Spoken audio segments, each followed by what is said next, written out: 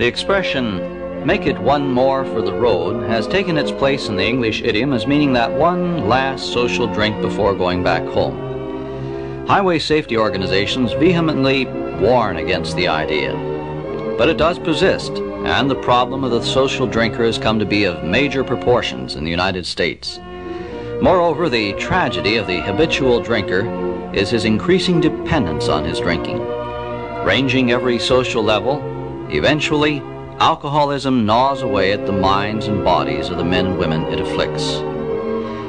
Joe Summers happens to run into a case of this kind of drinking today when he visits an old acquaintance, Frank Michelson, Chief of Police in Lakewood. The chief can see you now, Mr. Summers. Please follow me. Well, thank you, Officer Vega. Joe, come on in. Have a seat. It's been a long time since I've seen you. Well, good to see you, Frank. It has been a while. I think last time it was Officer Michelson, and now it's Chief Michelson. Yes, well, I guess somebody has to get the ulcers. but what can I do for you, Joe? Well, Harry Goodman asked me to bring by these sample layouts for the poster for this year's policeman's ball. Oh, that's right. It's that time of the year again. Well, I always leave that decision to Fred. Vega, would you come in here for a moment, please? You don't mind waiting while Fred looks them over to you, Joe? Certainly not. Yes, sir? Uh, take these art layouts down to Fred's office and ask him which one he likes the best. Certainly. And, sir, a situation just came up. Patrolman Potter wanted me to refer to you. It's about, uh... Go ahead. Well, sir, there has been an accident on South Shore Boulevard, and the woman who caused it was intoxicated. So? It was Mrs. Aldrich again, sir. Should we press charges? Yes. It's gone too far. Tell the officer to proceed, but to keep me personally informed as to the developments. Yes, sir. I'll have these back in a moment, Mr. Summers. Fine. Would you believe it, Joe? I'm going to have to press charges against the Mrs. Eleanor Aldrich. Do you know who she is? Well, I believe she owns the estate at the top of the hill on Farragut Circle, doesn't she? Yes, that's the lady. You know, Joe, I just can't understand it. Why, when I was a rookie patrolman, I thought the typical alcoholic was the bum you had to kick out of the back storerooms. You know, the guy who just loved booze. But I found out over the years that there is no such thing as the typical alcoholic. You mean no uh, common background pattern? Exactly, Joe. They're rich, they're poor, they come from good homes, broken homes, respectable families, and those that aren't. Well, I think I agree. Take this Mrs. Aldrich as a case in point. Now, she has everything a woman could possibly want. Fine home, beautiful clothes, prominent family, many friends, and yet this is the third time in two months her drinking has come to my attention. Oh, that certainly is a sad thing. Well, the first time we found her drunk in her car, we had her hospitalized, and I went to see her to talk to her. I'll never forget the way it went. She was laying there wide awake in that hospital bed, just staring at the wall, and then I walked into her room. Mrs. Aldrich, Mrs. Aldrich, may I speak with you a moment? Oh, yes, it's our chief of police. I haven't seen you since the mayor's lawn party in June. I'm most sorry. Sorry that your men had to pick me up, Mr. Michelson? So am I. But I suppose that my treatment was standard procedure under the circumstances. Well, Mrs. Aldrich, you must understand. Oh, Dr. Hampton, how nice of you to come so soon. I came as soon as I got your message, my dear. We'll have you out of here in no time. Oh, Joseph, you know Chief Michelson of our police department. How do you do, Chief Michelson? You're looking well, Doctor. Thank you, Chief Michelson. If you don't mind, I'd like to be alone with my patient for a while. Well, not at all, Doctor, but I would like to speak with you for a moment as soon as you are free. Oh, certainly, in just a moment. I'll wait in the corridor. Sorry to keep you waiting. That's quite all right. I gather that you are well acquainted with Mrs. Aldrich. Yes, I've been her personal physician for the last eight years. And I suppose you want to know what effort is being made to help her overcome her drinking problem. Well, frankly, Doctor, yes, I would.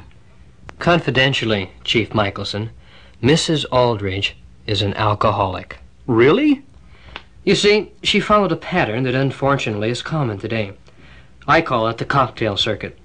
You know, the drinking party with all the right people there, and you're constantly encouraged to freshen your drink. But not all the people on the cocktail circuit, as you call it, are alcoholics.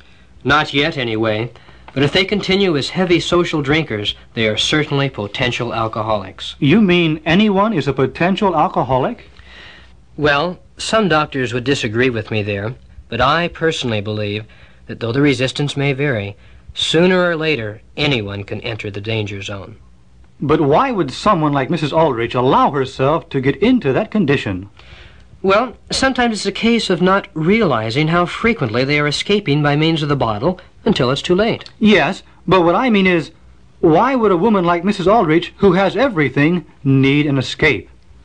Well, we all have weaknesses or fears, and we all need ways to escape them at times. Some, however, find their escape, their crutch as it is, in the bottle, and by the time they realize how dangerous the crutch is, it's too late.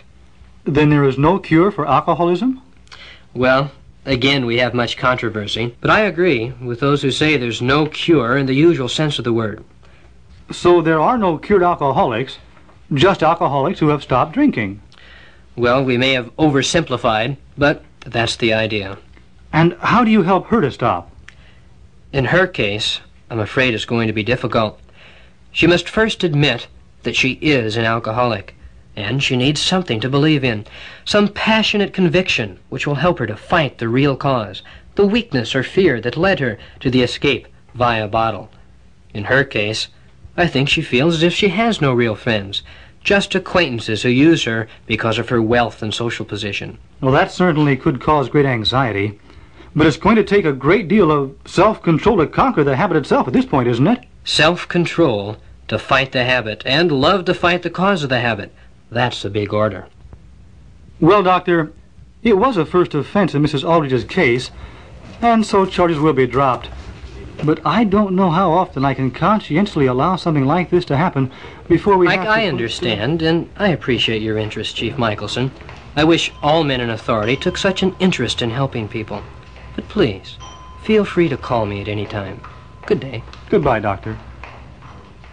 So you see, Joe, I learned quite a bit that day. Well, it sure sounds like it. And I remember that night I went home and had a little talk with my two boys about how a real man could say no to that second drink, even if he was considered a little antisocial. You know, Frank, it's good for you to talk to your boys like that. Not every father would be interested enough to do that. But you know, I was just thinking as you were relating your uh, conversation with Dr. Hampton of two Bible principles I think I'll review with my family tonight. You mean not to drink? Well, Frank, the Bible doesn't forbid taking in alcoholic beverages altogether. Uh, Jesus himself made wine for a wedding. Hey, that's right. I remember something about that. But one Bible principle I had in mind really is good in many ways, but very important when it comes to alcohol. Uh, we're encouraged to be moderate in habits. That is a good principle. Of course, the Bible isn't vague on the subject. Uh, Paul the Apostle wrote in his letter to the Ephesians, Do not be getting drunk with wine. No, there's nothing vague in that. But what was the second principle you had in mind? Well, you remember what Dr. Hampton said to you about needing a passionate conviction to break the habit and uh, love to cure the cause? Do I? I'll never forget it. Well, the Bible gives one faith in himself and uh, a passionate conviction or purpose in life that helps him face life without an escape crutch like the bottle. What does the Bible say, Joe? Well, for example, I think you and I feel that the Bible is inspired of God, don't we, Frank? Well, that's true. Although I don't profess to take it as seriously as you do. Well, we really can learn what God requires of us. Well, doesn't God love everybody?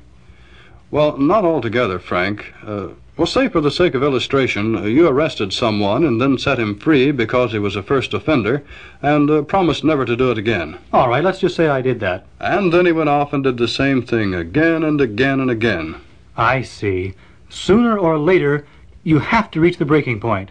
Right. Uh, we shouldn't picture God as holding out his arms to just everybody, but you have to try to do something to merit his approval or make him want to love us. All right, I can see that.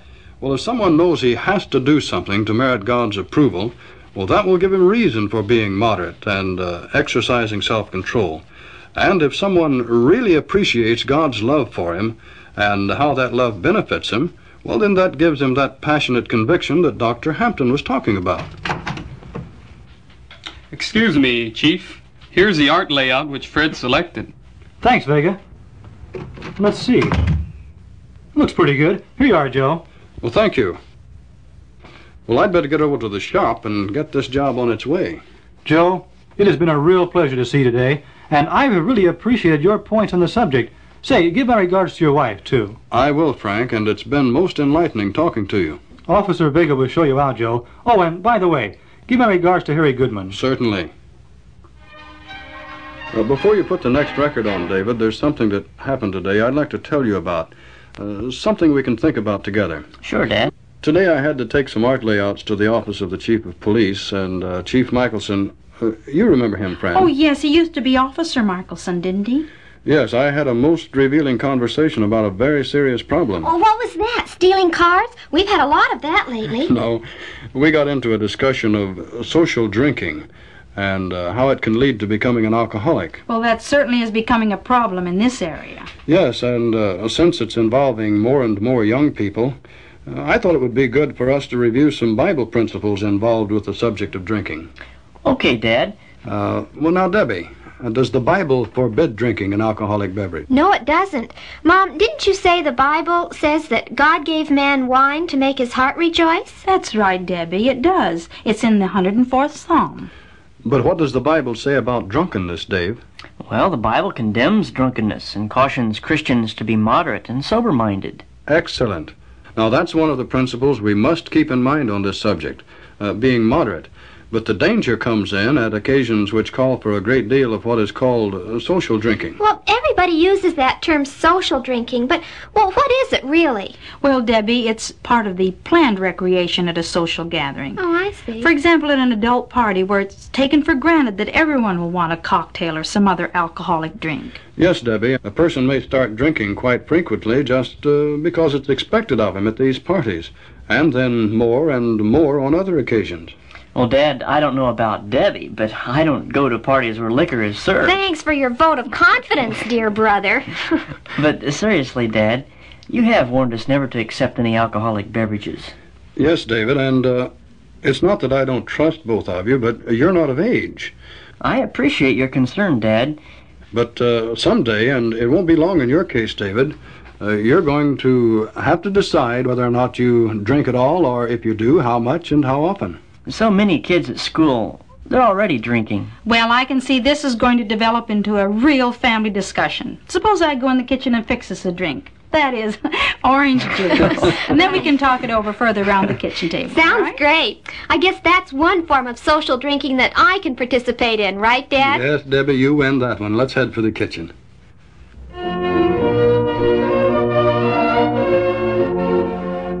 Appropriate indeed is the Bible proverb which says, Wine is a ridiculer, intoxicating liquor is boisterous, and everyone going astray by it is not wise. The practice of moderation in all our habits is the biblical course of wisdom.